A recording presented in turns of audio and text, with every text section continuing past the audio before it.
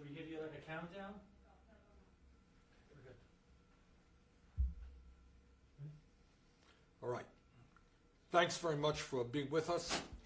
Uh, in terms of climate change, the very bad news is we have a president of the United States uh, who does not even understand the reality of climate change and is moving us in exactly the wrong direction.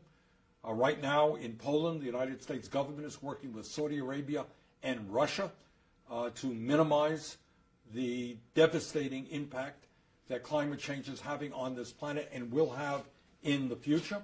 And we are taking on a fossil fuel industry that over a 10 year period spent $1.7 billion in campaign contributions and lobbying in order to keep this country and the world going forward uh, dependent on fossil fuels.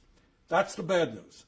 Uh, the good news is that right now, today, right here on Capitol Hill, we had a thousand young people from the Sunrise Movement over there in the House of Representatives telling the House that the time is now to transform our energy system away from fossil fuel to energy efficiency and sustainable energy, telling the representatives in the House and all of us that they've got to have the guts to take on the fossil fuel industry, which is more concerned about short term profits than the future of this planet.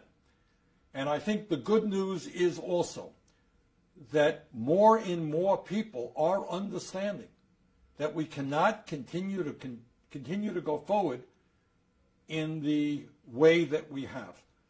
The terrible wildfires uh, in California, which claimed over 85 lives, destroyed 14,000 buildings, uh, have told the American people that if we don't get our act together, what we saw in California is going to be commonplace, not only in this country and around the world.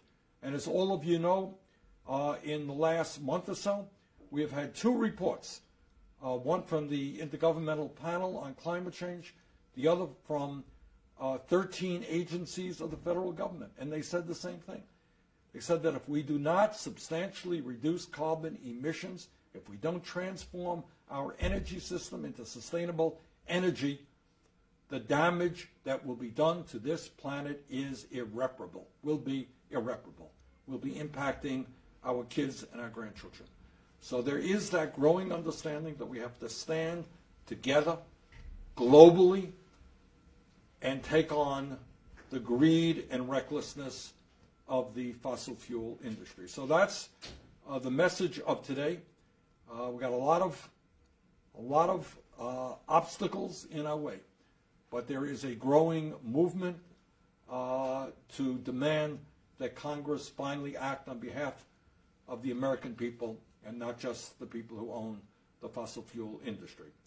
Uh, if uh, I think we got some questions coming in, Josh. Yeah, we do. Um, we have one. Um, we have one from Linda who says, uh, "What are some simple and strong talking points the general public can use to encourage awareness on alternative energies?" Uh, the talking points are pretty simple, and that is to suggest that even if you do not believe in the devastating reality of climate change, that if you want cheaper electricity, we should be moving to solar uh, and to wind, which in many instances now is less expensive uh, than fossil fuel. And I think the other talking point is that within the scientific community, the debate about the reality and devastation of climate change is gone. Uh, the scientific community is virtually united in understanding that climate change is real, caused by human activity, uh, and already causing devastating problems. But bottom line here is what corporate America knows, what many of us know, is that we have got to invest in sustainable energy, in solar, in wind, in geothermal. That is the future for energy in this country and around the world. Josh, you got anything else? Yeah, John says, how do we get our Congress to pass laws that divest our use of fossil fuels? Uh, essentially, what we need is a strong grassroots movement. Uh, as I mentioned a moment ago, the fossil fuel industry has spent over the 10 year period, $1.7 billion in campaign contributions and in lobbying. So these guys are all over the place talking, telling Congress that they have got to maintain the status quo.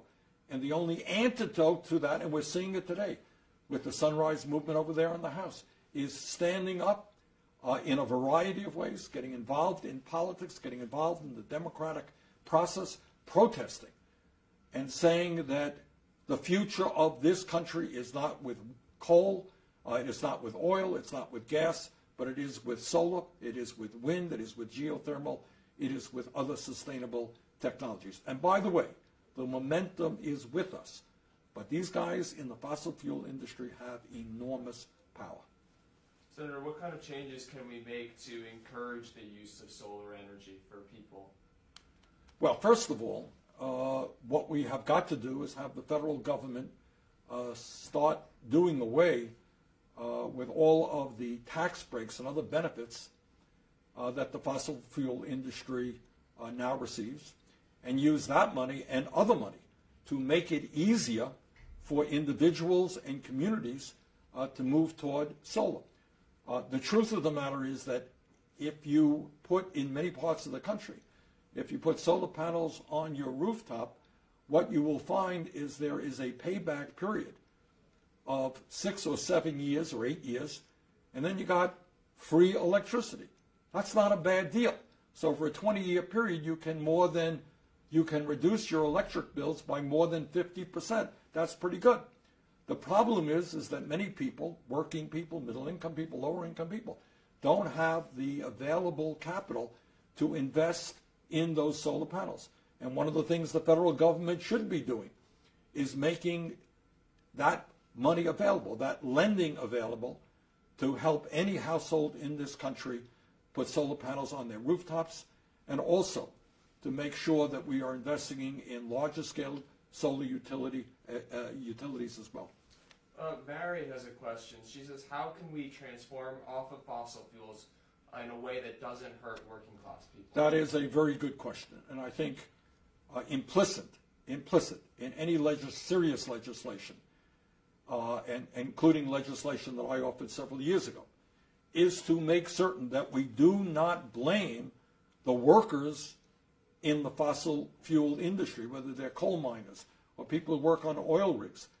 They are not the cause of the, of the crisis in climate change, and they should not be punished. So, in all serious legislation that's out there, there is a substantial uh, amount of money going into helping those workers uh, get retrained, get the education that they need, uh, and helping those communities that are negatively impacted by the transition away from fossil fuel. It's a very good issue, Mary, and I'm glad that you raised it. Coal miners are not our enemy. People who work in the oil industry are not our enemy. They have to make a living. They have to take care of their families. We understand that. They should not be punished as we transition away from fossil fuel. Maybe one more, Josh. Yeah, one more. So um, we have another question that says, can climate change be considered a national th- security threat to move us from a war economy to a green energy and jobs economy? Who, who asked that? Uh, this is from Tarek. Tarek? You know, it's a funny thing that you asked that, Tarek. Uh, a couple of years ago, I was in a debate, and somebody said, well, what is the major foreign policy concern that you have? And I said, you know, climate change. And people laughed at me, oh my goodness, how silly can you be? It's supposed to be terrorism and all that other stuff. Well, terrorism is a very real threat. But to my mind, climate change and the devastation that it is wreaking on this planet right now and will in future years is in fact a national security issue. It's a national security issue because when you have drought all over the world and people cannot grow their crops Food will not be available to the people who need it. There'll be mass migrations of people from one country to the other who are driven off of their homeland because they cannot survive. When you have wildfires like the one we saw in California, and those fires take place all over the world, of course that's a national security issue. So seeing the price of food rise or the lack of avail- the availability of food, seeing flooding, seeing migrations of people, seeing the federal government having to spend hundreds and hundreds of billions of dollars repairing the damage that extreme weather disturbances have caused. Of course, that is a national security issue, and it should be seen uh, in that light. So, bottom line is, uh, I happen to believe, I happen to agree with what the recent reports stated, and that is there is a global crisis taking place right now in every it's going to impact every country on earth. And our job is to stand up now before the damage becomes irreparable bring people together. And when we do that by the way when the united states leads the world in getting china and russia and other countries together to fight climate change not only will we be on the right side of justice not only will we be protecting the needs of our kids and our grandchildren, but we will also be creating millions of good paying jobs.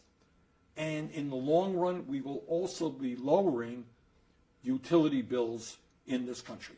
No doubt in my mind that being aggressive in transforming our energy system is exactly what we have to do. So let's all stand together. Let's have the courage to take on the very powerful fossil fuel industry. Let's save this planet for future generations. Thank you all very much.